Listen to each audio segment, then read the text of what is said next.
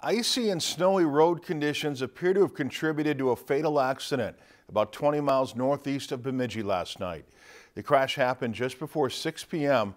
on Highway 71, a little north of the community of Hines. Roads were icy and snow covered at the time. According to the State Patrol report, 20-year-old Colton Erickson of Park Rapids was a passenger in a car that was traveling southbound when it lost control and went sideways into oncoming traffic and was struck by a pickup truck.